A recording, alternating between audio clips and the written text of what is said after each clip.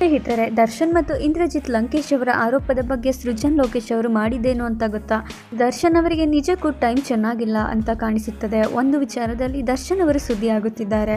ಉಮಾಪತಿ ಅರುಣಕುಮಾರಿ ಮತ್ತು ದರ್ಶನ್ ಅವರ ವಿಷಯ ಮುಗಿದ ನಂತರ ದರ್ಶನ್ ಅವರು ಹೋಟೆಲ್ ಸಪ್ಲೈ ಒಬ್ಬರ ಮೇಲೆ ಹಲ್ಲೆ ಮಾಡಿರುವುದಾಗಿ ಆರೋಪಗಳು ಕೇಳಿ ಬಂದಿದ್ದವು. ಇದಾದ ನಂತರ ಇಂದ್ರಜಿತ್ ಲಂಕೇಶ್ ಅವರು ದರ್ಶನ್ ಅವರ ವಿರುದ್ಧ ಆಡಿಯೋಗಳನ್ನು ಬಿಟ್ಟಿದ್ದಾರೆ. ಆದರೆ ಇದರ ನಿಜಾಂಶ ಏನೆಂದು ಇನ್ನೂ ಕೂಡ ತಿಳಿದು ಬಂದಿಲ್ಲ. ಒಂದು ಕಡೆ ಇಂದ್ರಜಿತ್ ಅವರು ಸುಳ್ಳು ಆರೋಪಗಳನ್ನು ಮಾಡುತ್ತಿದ್ದಾರೆ ಎಂಬ ಉತ್ತರಗಳು ಕೂಡ ಕೇಳಿಬರುತ್ತಿವೆ ಆದರೆ ಇವರಿಬ್ಬರ ಜಗಳ ಅತಿ ದೊಡ್ಡ ಮಟ್ಟದಲ್ಲಿ ನಡೆದಿದ್ದು, ದರ್ಶನ್ ಅವರನ್ನು ಐದು ವರ್ಷ ಚಿತ್ರರಂಗದಿಂದ ಬ್ಯಾನ್ ಮಾಡಿ ಎಂದು ಚಲನಚಿತ್ರ ವಾಣಿಜ್ಯ ಮಂಡಳಿಗೆ ಪತ್ರವನ್ನು ಬರೆದಿದ್ದಾರೆ.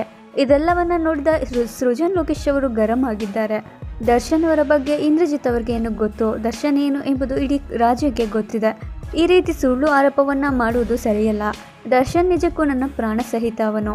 ಏನು ಎಂದು ನನಗೆ ಚೆನ್ನಾಗಿ ಗೊತ್ತು ಎಂದು ಇಂದ್ರಜಿತ್ ಅವರಿಗೆ ಹೇಳಿದ್ದಾರೆ. ಹಾಗೂ ದಯವಿಟ್ಟು ಇಂತಹ ವಿಚಾರವನ್ನು ಇಲ್ಲಿಗೆ ಬಿಟ್ಟು ಬಿಡಿ ಎಂದು ಸೃಜನ್ ಲೋಕೇಶ್ ಅವರು ಹೇಳಿದ್ದಾರೆ. ಅಂತೂ ಸೃಜನ್ ಲೋಕೇಶ್ ಅವರು ದರ್ಶನ್ ಪರ ನಿಂತಿದ್ದಾರೆ. ಈ ಬಗ್ಗೆ ನೀವೇನು ಹೇಳ್ತೀರಾ? ನಿಮ್ಮ ಅನಿಸಿಕೆಗಳನ್ನು ಕಮೆಂಟ್ ಮೂಲಕ ತಿಳಿಸಿ. ಈ ವಿಡಿಯೋ ನಿಮಗೆ ಇಷ್ಟವಾಗಿದ್ದಲ್ಲಿ ಲೈಕ್ ಮಾಡಿ.